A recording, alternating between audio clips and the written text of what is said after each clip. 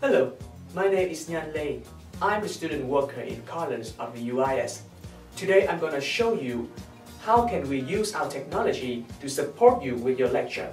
It will make your lecture more colorful, more powerful, and more attractive to the student. Let's begin. This is the Studio of COLRS. There are three things that can support the lecturer to make a lively video lecture. The shaky hand table, the green screen studio, and the Lightboard studio. First, let's talk about the shaky hand table. It's a combination of light, camera, and action. When the camera is on, the lecturer will use the colorful markers to write a lesson on the blank space.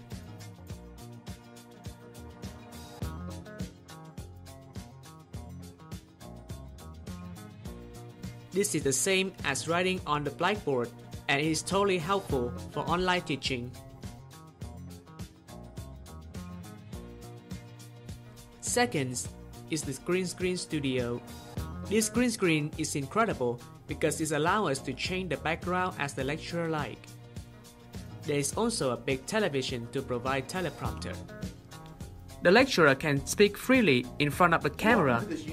Power, politics, and, and the background will be changed after editing on the computer. Uh, and we're going to go ahead and, and, and leap right into this notion of power.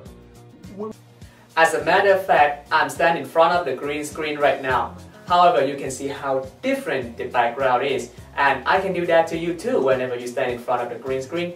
You can choose your PowerPoint slide, a machinery model, or any landscape that you like to be your background.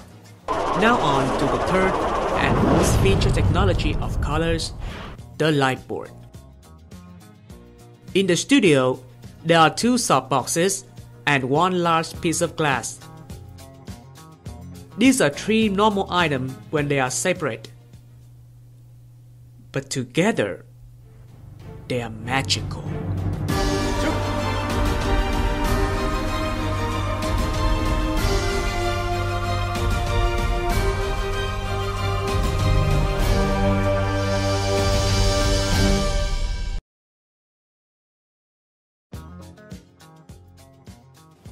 There are three huge advantages for this lecturer when they're using the lightboard to giving the lecture to the student.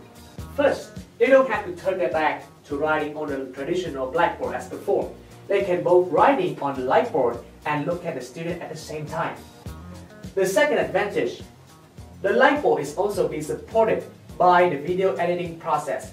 This will help the lecturer to add their PowerPoint slide, the graphic, the images, and text as they want. Third one, and most important, the lecturer can do the annotation on the figure that they already added. For example, how about fill in the blank? If you have already watched one of my previous videos, you may know the answer. And the answer for this is... Turn down for what? for what?